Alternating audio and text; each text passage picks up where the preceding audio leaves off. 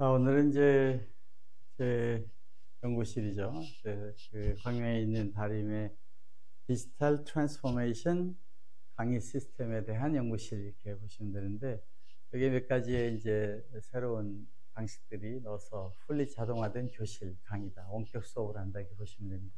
한쪽은 제 이쪽을 제 칠판에 있는 이쪽을 지금 어, 하고 있고 또 한쪽은 저쪽 제가 보고 있는 쪽이죠. 그쪽을 하는데 여기에 칠판에 있는 전자칠판, 다름의 아이보드라는 거죠. 이 아이보드로 여기에는 이제 칠판과 옆에 두 개 모니터가 더 있습니다. 그 이유는 지금 비대면을 본 학생, 비대면 학생이 보이게 하려고 하는 거죠. 사실 네 개가 있는데 지금 앞에 공간 때문에 세 개만 달았습니다.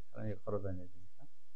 그래서 앞에는 이제 비대면 학생은 저쪽을 보는 거죠. 보시는 것처럼 PPT도 나가고 장면이 나가지 않습니까? 우리가 줌으로 하면 두 개 장면이 나가기도 하는데 이제 화상회의에 다른 교실도 보여야 되기 때문에 다름에서는 아이스튜디오 미트라고 하는 새로운 서버로 좀 쓰지 말아도 더 고화질로 여러분이 마음대로 보안도 더 어, 튼튼하게 학교 안에는 학교 안에서만 하게 밖에서도 하게 다 자유롭게 서버를 장착해서 미국 갔다 오지 않아도 되는 아, 그런 것을 제공하고 있습니다. 지금 여러분에게 보여드리고 있는 것은 이제 제 방에서 제가 이렇게 움직이는 거죠. 아, 이렇게 움직이면 그 tracking 카메라 따라가지 않습니까?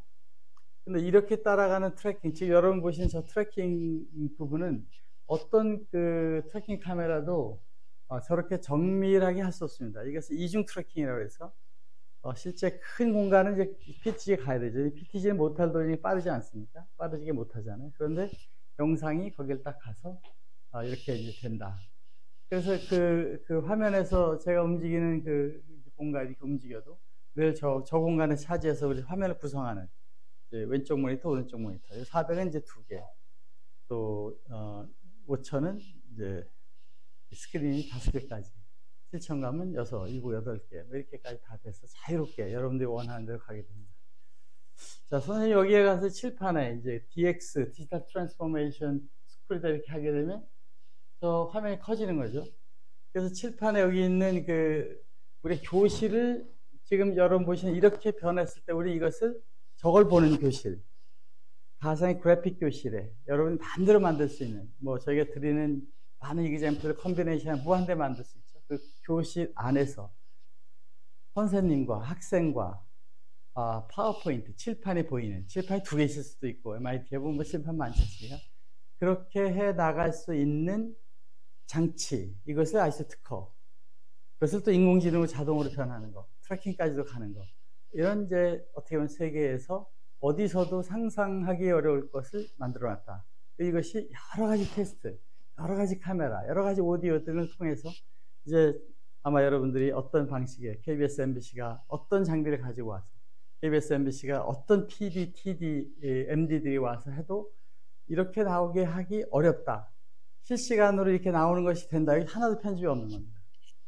아, 그렇게 해서 이제 우리가 이 디지털 transformation 파워포인트 선생님 일반 강의하듯이 이렇게 하는 겁니다. 그래서 이제 다음 장을 가면은 지금 이런 방송실에서 여기 있는 것처럼 이제 포인터를 제가 이렇게 하는 거죠. 여기 있는 것처럼 이 이런 스튜디오에서 이런 작동하는 사람 보면서 이렇게 하는 것을 우리 한 장비 이런 걸 하거나 이거만 할 되는 거니까 이렇게 만들어질 수 있는 강의가 되고 지금 있는 것처럼 이 장면을 전환하거나 바꾸는 것이 선생님의 제스처나 aiming이나 포인터에서 되는 완벽한 integration을 하는 기술. 전 세계 어디서도 보기 어려운 것을 사실은 했다.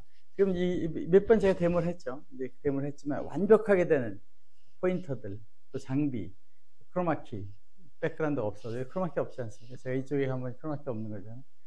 이렇게 tracking과 인공지능 tracking과 하이브리드를 넣어서 여러 카메라 연결해서 완벽하게 돌아가는 장비를 이제 아이스 400은 조달해서 3천만 원 되죠. 다 하면.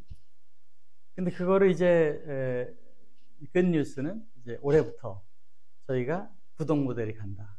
장비는 설치할 때한 어, 보증금 쪽으로 한 200만 원 정도 드면 하드를 갖다 다 드립니다. 설치 다 해드립니다. 물론 조금 더 이제 고성능은 한 2, 300 더 주면 이제 데스크, 스탠드 이런 지금 여기 있는 아이보드 이런 거다 어, 그냥 한 200만 원만 더 내면 설치해 줍니다. 그리고 2년 계약 이상 되면 가지시면 됩니다. 아, 그런 방식으로 이제 구독 모델형 그 이런 거 있죠. rental and care. 매달 얼마씩 내는데 장비비와 care비 또 운영하는 업그레이드비를 다 포함해서 어 이제 한 2, 30만 원대에서부터 어 70에서 80만 원을 내면 다 된다. 여러분이 운영 요원이 없이도 된다 그러면 지금 인력만 줄인다 하더라도 굉장히 큰 차이겠죠. 그 가격표는 이제 이번 주 안에 웹에 다 announce가 되고 저희가 어떤 성능이 이것이 되는가 해서 누구나 마음대로 쓸 수 있는 모델로 공급을 시작하게 됩니다. 여러분, 이 아이스튜디오의 방식은 지금 제가 보이는 이것은 이제 이 방에서 하나의 예인데 어떤 환경도 어떤 원격 교실도 지금 있는 교실에서 우리 장기관 설치를 두세 시간 하고 딱 그 교실에 서팅하는 거 한번 가르쳐 드리고 선생님 강의해 보시면 여기 와서 아무것도 배울 거 없으면 이것만 가지고 이렇게 하면 되는 거죠. 그런 방송의 새로운 문화를 다림이 만들어 나간다. 여러분 기대하셔도 어, 됩니다. 그래서 이제 이, 런 방식들로 그 세계에서 어떻게 보면 최초의 선생님이 혼자서 하는 방송 스튜디오가 된다. 어, 그 PD가 있어 눈치를 보면서 이렇게 하거나 이 그 장치를 교실에 설치하면 있는지 없는지 모르는데 그 장치 안에는 switcher, 믹서, 카메라맨, 스튜디오에 다 포함돼서 어, 한 번에 갈 수 있다. 뭐 제가 약장사 갔을 때 했는데 어쨌든 틀림없이 됩니다. 여러분 한번 아, 이번 웹사이트 자료도 좀 보시고 여러분 있는 그 공간이 방송국이 된다. 스튜디오에 가서 찍지 않아도 된다. 지금 많은 그, 그 원격 수업 을 하는 스튜디오들, 뭐 대학교 교사학습지원센터 이런 원격 강의실 그리고 그 원격은 실시간이 빠진 겁니다. 실제로는 촬영해서 오랜 시간 동안 편집하고 거기다 학습 설계도 하고 막 이렇게 해서 이제 그, 그 하게 되는데 그런 방식의 시대가 과연 얼마나 갈까? 과연 강의가 선생님의 강의가 지식을 전달하는 데 있어서 어떤 것이 가장 중요하냐? 하나하나 가르쳐서 그 학생들이 정말 다 알게 되는가? 뭐 설민석 그런 분이 설명하는 건 귀에 쏙쏙 들어가죠. 그 쏙쏙 역사를 보는 거지. 몇 년도 몇 월 며칠에 한 걸 외우고 이런 거는 사실 쪽지게 강사하는 방식으로 하면 안 된다. 수학도 푸는데 푸는 방식을 자기 생각하고 원리를 이해해서 하는 걸 학생이 해야 되지. 강의 들을 때는 선생님의 아웃라인, 모티베이션, 어디까지 하는 거, 체크, 이거 선생님 역할 다 하는 거죠. 선생님 꼭 자세히 설명하는 거는, 어, 뭐, 교육에 얼마나 되는지는 모르겠지만, 저는 확실히, 어, 저보고 공부 못했다고 어, 하는 사람은 아마 뭐, 대학교, 고등학교, 카이스트, 뭐 미국 버클리 어딜 가도 저를 보고 공부를 못했다 한 사람 없었을 것 같은 자만을 갖고 있는데 어쨌든 그렇게 공부를 하는데 가장 결정적인 역할은 선생님은 방향을 제공하고 알아듣지는 못하지만 그런 분야로 가시고 언제까지 하라 시험 본다 여기에 이제 팀들 학생들 친구들 이렇게 해서 가는 것이 공부니까 우리가 강의의 의미를 너무 많이 둘 필요는 없다 flip learning에서 동영상 학생들한테 공부하는 방향과 길을 주고 숙제하고 공부하는 걸 주게 하면 선생님 역할을 된다. 선생님 강의를 정말 학원 강사처럼 잘하는 것은 훌륭한 강사가 아닐 수 있다. 왜냐 그렇게 되면 학생이 아는 것 같지만 그 다음 날가면 모르게 되니까.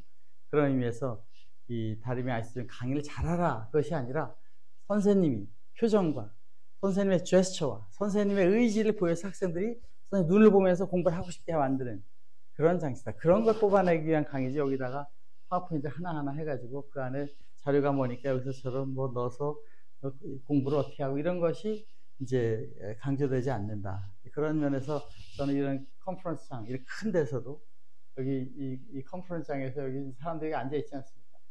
이, 이 컨퍼런스장에서 이렇게 나가는 컨퍼런스장에서 발표자가 여기 있는데 이, 이 발표자가 여기 있는 거죠. 이렇게 제가 지금 하듯이 이렇게 보는 것을 거기 있는 사람들 여기 여기 앉아 계신 분이 이 노트북에서 노트북에서 이제 그, 그거를 마치 우리가 그 야구장에서 야구 보듯이 이렇게 하는 교실 안에 교실. 제가 카이스트에서 어느 교수님 그 세미나 하는데 가서 했더니 다 그, 여기 한 3m도 안 되는데 파워포인트가 나오는데 깨끗이 안 나와서 그런 건다 여기 보더라고요. 우리 거로 나가는 걸 보게 되는데 이것이 야구장에서 야구 중계를 보듯이 교실의 그 느낌, 컨퍼런스장의 느낌은 느끼지만 그 안에서 그 어, 내용들 자세히 보고 자료를 보는 것을 해야 된다. 그래서 이번 올해 2023년 신모델 아이스튜디오 어, 그 large conference auditorium solution에는 아이스튜디오 안에 그 방송 서버가 들어갑니다. 그래서 그 안에 있는 사람들 저 줌을 가서 같이 오는 게 아니라 내부망에서 그걸 합니다. 작년도에 우리가 그 HRD 그뭐 코칭 컨퍼런스를 하는데 한 2천 명이 한 방에 들어와서 전부 줌으로 연결하니까 그, 그 상공회의소장에서 연결한 그 네트워크 jamming이 나 막 각 방마다 라이브가 안 된다고 막 그런 이제 complain이 있어서 올해는 그 내부망 교실 안에 자체 와이파이로는 안에서 쓰고 인터넷으로 오는 사람만 글로 연결하는 자체 새로 기술을 만들어서 아이스튜디오 안에 스트리밍 서버를 집어넣어서 내부망 줌 같은 것을 제공하는 그런 것이 이제 출시됩니다. 그래서 아이스튜디오 오디토리움 큰 방에서 할 때 이제 그걸 지원을 하는 거죠. 아무튼 여러 가지 이제 클라우드 쪽에 서비스하는 것까지 다 새로 출시가 돼서 본격적으로 이제 다림이 2013년 어, 그 여러분들 교실을 오픈하는 교실이 하이브리드 그 안에 있는 학생도 밖에 있는 학생도 그 시간이 아닌 다른 학생도 보는 그러한 수업으로 가는 구체적인 솔루션 400, 200,